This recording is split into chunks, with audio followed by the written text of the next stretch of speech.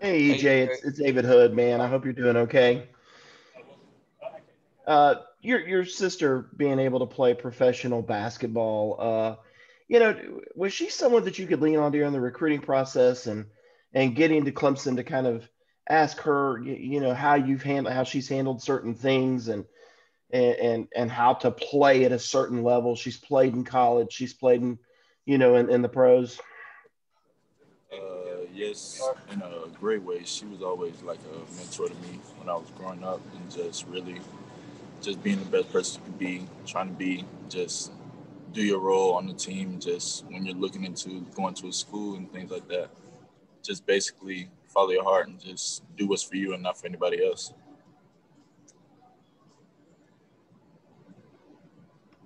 EJ, you um, had, had a couple nice um, first down uh, receptions early in the game on Saturday. Uh, do, you, do, you, feel like you're you're playing at a, at a pretty confident level right now? Just um, your your uh, knowledge of the offense and route running, et cetera.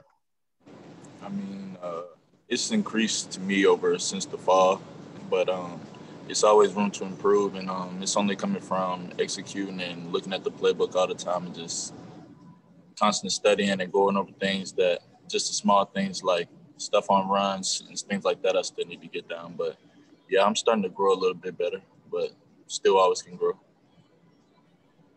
EJ, this is Matt with the state. What do you think of the comparison that was made between Ross and, and kind of what do you think about the way y'all's two games are similar and different?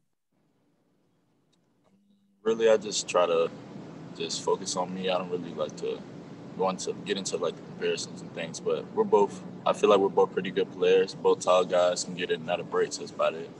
But he has his game and I have mine.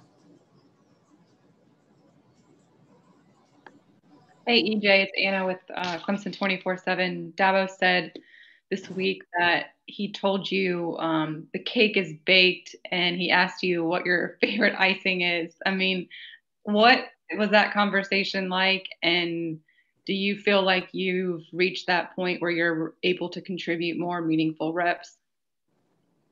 Uh, it's not really. It's just like I feel like when he said it, I feel like he's meaning like I'm starting to get the overall things of the offense. I'm getting things of offense. It's just really like the icing he's saying that's in like just the little things like I said earlier. Like on run blocks, just knowing certain types of blocks we need to make and just certain route concepts that go with each other and just getting those down. But um, yeah, I feel like I could contribute more, but it's all up to just me being my best as soon as I get in the game and when my numbers called.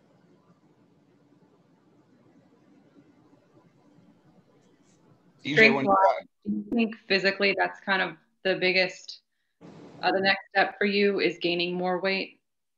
Yeah, really, I really do. That's probably like one of the only things that's really like kind of in the way, but it's gonna it's gonna come with lifting weights and things like that. That's just how I see it. Just trusting the process. Hey EJ, it's uh, Trevor from CUTalkers.com again. Um, when when you found out that Justyn would would not be playing this season, did you look at that as, as a big opportunity for yourself as a, a true freshman to be able to come in and, and make a name for yourself? Um, not really, because it was just I, I mean on the technical way, in the technical way, yeah, it was going to be regardless because we're losing one great receiver that we had the year before.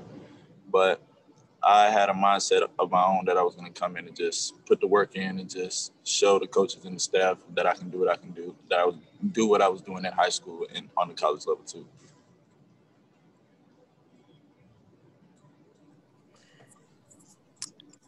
Any other questions for EJ?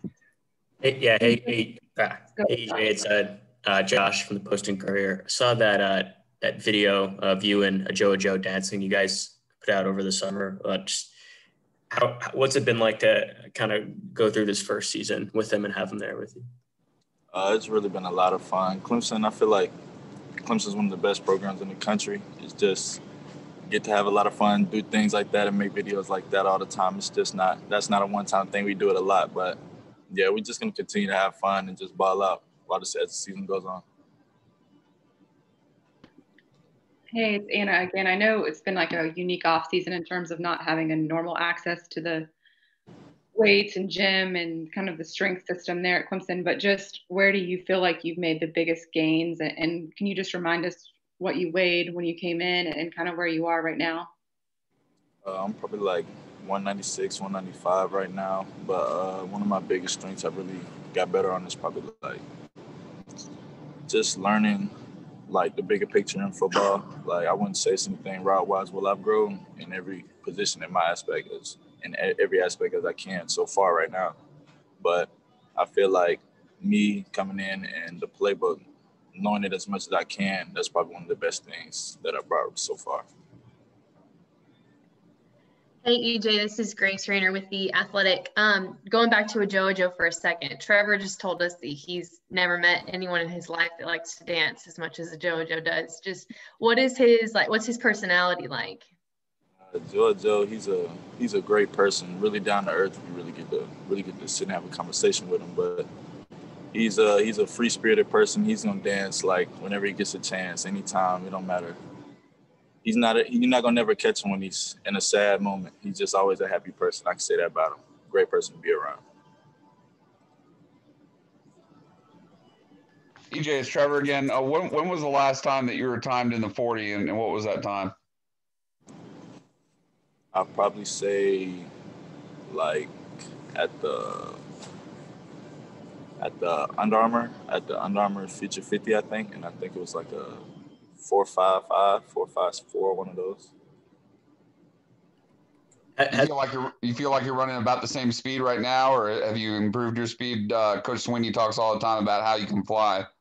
Oh yeah, I feel like uh, when I'm in like competition and things like that, and Ross on there just running, I feel like I run a lot harder, a lot faster than when I did in high school. Has Ajou shared anything with you like about his journey, just coming over here uh, from Canada? Uh, not really. He just like he just happy to be here. He just loves Clemson so much. He loves the program. Loves. He just shows a lot of love, and that just lets me know that he's happy to be here.